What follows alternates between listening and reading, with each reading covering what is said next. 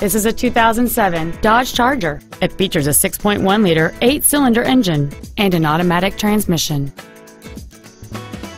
Complementing this Dodge's contemporary styling is a stunning array of desirable features which include a sunroof, cruise control, a navigation system, a multi-disc CD player, a traction control system, an anti-lock braking system, and this vehicle has just over 26,000 miles. This car won't last long at this price. Call and arrange a test drive now.